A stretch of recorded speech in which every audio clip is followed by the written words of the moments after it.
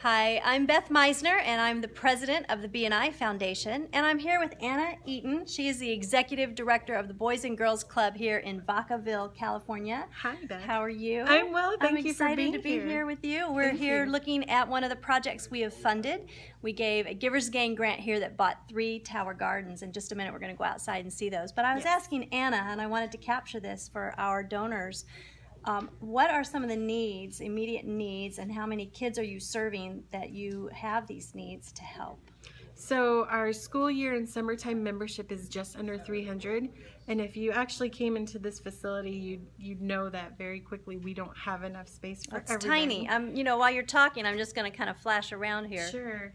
We make do with the rooms that we have, but one of our more immediate needs is to um, definitely remodel the facility, perhaps maybe build a second floor, um, add a gymnasium to the facility Mm-hmm. because we serve kids ages 6 to 18, and to have that many kids with different Yeah, program one, needs. one big common room. This is really all you have. yeah, Some yeah. outdoor so space. we don't have quite enough room to move everybody into, and so that's why we're we're looking at Yeah. needing to remodel. Yeah, but- yeah. Well, I hope that we can get our BNI members locally excited about this project because I think we have a lot of time, talent, and treasure that could come into this project here in Vacaville. We would love that, and we appreciate the support that we've gotten with the uh, Tower Gardens.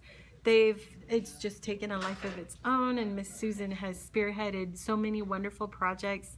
Um, it's been a lot of many great learning lessons for the kids as well. So I, I appreciate all of the BNI members and donors. Thank you so much. And I can attest to the wonderful smells here in the room. We're, we're making salsa today, and it smells great. yes, Thanks for your time. I hope we can help thank you even more. I appreciate it, Beth. Thank you so much. Our pleasure.